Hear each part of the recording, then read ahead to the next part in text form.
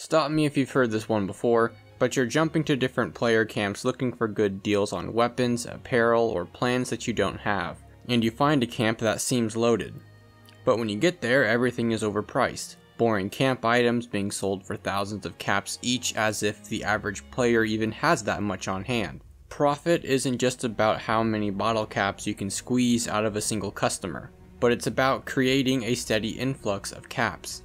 You can't make profit if no one can afford your products. Mastering the art of sales with your vendor is the best method to maximizing your caps if you do it right. And you don't even have to be a veteran player, new players can do it too. So sit back, relax, ish, and get ready to absorb a lot of information. And feel free to take some notes. This video will teach you how to maximize profits from vending machines, including an in-depth price guide and player etiquette. So let's discuss wasteland capitalism. First, we need to cover the basics, because if you don't follow the rules, you won't make any sales. Your vending machine needs to be easily accessible. No one is going to spend an hour running around your camp looking for your vending machine. They'll look for maybe a minute, and if they can't find it, they'll just give up and move on to the next camp. So make sure your vending machine is out in the open or at the very least use arrows to guide players in the right direction. Finding the vending machine isn't the only requirement that you need to meet. Your prices cannot be whatever they want, so stop looking at all these spreadsheets and guides with arbitrary prices set at unrealistic standards that result in zero sales. You need to set prices that people can afford. Arbitrary spreadsheets don't set value. Something is only worth what people are willing to pay and no one is willing to pay 6,000 caps for your Wendigo tube or 30,000 for your TV aquarium. With that being said, not everything has to be sold. You are allowed to have nice things. If you spend days grinding for a rare clothing item just to put it up for sale for 20,000 caps without using it yourself, that way no one gets to enjoy it because let's face it, no one is going to buy it. So if you're not going to use it, set an affordable price. Now let's go ahead and talk about pricing. When selling your extra plans, you need to set price based on actual market value, how many are in rotation, and how sought after these items are, also known as supply and demand. You should not be setting prices based on some arbitrary system or spreadsheet.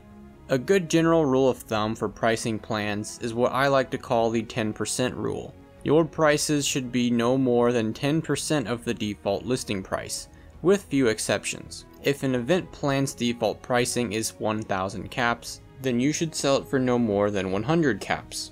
Not 2000, not 5000. If a power armor piece's default price is 500, you should sell it for 50 caps or less. The rule has a few exceptions such as exclusive items like the Nuka-Cola clock, which is only obtained by spending around 200 caps at the responder vendor bot but its default listing price is set at 100 caps, so that's obviously not going to work. Actual rare plans with exclusivity are the exceptions to the 10% rule. But that doesn't mean you can join the bandwagon of outrageously overpricing your plans. The higher you set your prices, the average person that sees your camp is less likely to buy your stuff. Of course, you can go higher than 10% on the average item if you want, but just know that the higher the price, the less likely someone will purchase it especially if the item isn't actually that rare. The only excuse for overpriced items is that it's the standard and everyone does it, but the problem is that you see it in almost every camp, meaning that no one is actually buying their plans. Selling ammo is truly a hidden gold mine in Fallout 76. Setting prices for ammunition is extremely straightforward, but I still see people mess it up. Ammo should be priced at a maximum of 1 cap. Ammo is sold per bullet, so if you set 10 caps per bullet, a measly 100 bullets will cost you 1000 caps. So caps have to be sold for 1 cap each. However, not all ammunition can be sold. Some types of ammo are just too easy to obtain and won't be worth anything. So if you use melee weapons, be sure to keep a lookout for these kinds of ammunition. The only types of ammo you can actually sell and profit from are special ammo like missiles, mini nukes, and cannonballs, ammunition like the 50 cal bullets, and occasionally the 45s, as well as all types of energy ammo. Energy ammo sells like hotcakes because it's simply too expensive to craft in bulk. Instead of spending countless hours grinding resources to craft energy ammo, it's a lot easier just to fork over a couple thousand caps and call it quits. Weapons are a bit more complicated than selling plans and ammunition. There are a few variables that need to be considered for weapon pricing. Rarity, legendary effects, mods, and of course, the demand. Let's use some of my weapons as examples.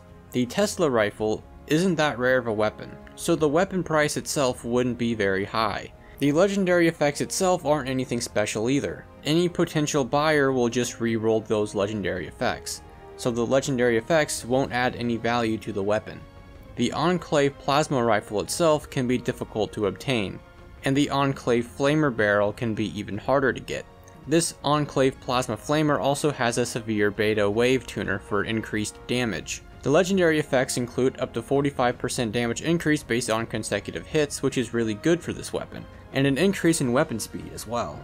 The other effect isn't bad but doesn't really complement the weapon much, so you could just re-roll this, but most people probably won't even bother. This weapon could potentially fetch a higher price with those legendaries. Chainsaws are probably the most sought after weapon in the entire game, simply because even without a melee build, this weapon still does a lot of damage. There's only a few places it can spawn, and you only have a small percent chance of getting the dual bar mod when scrapping, so selling a dual bar chainsaw would fetch a decent price. The legendary effects include restoring health when hitting targets, increased weapon speed, and plus 1 endurance. The big selling point for this chainsaw is that it's fully modded for maximum damage, and the vampire legendary effect is arguably the best legendary for the chainsaw.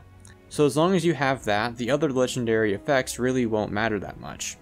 This weapon would fetch a really good price on the market. Remember, you can't overprice weapons either. Most players would rather take the time to find and build the weapon themselves than pay 10 to 20,000 caps for one weapon. Setting prices for apparel is very similar to prices for plans, however rarity plays a huge role. If an outfit such as the Hunter's Long Coat takes 16 hours of grinding one random encounter and costs 880 caps to purchase, you'll have to set the price at at least 880 caps and then factor in your labor costs. For an outfit like this you're looking at 2000 caps, even though many people sell it for 10 to 20,000, and no one actually buys it for that much.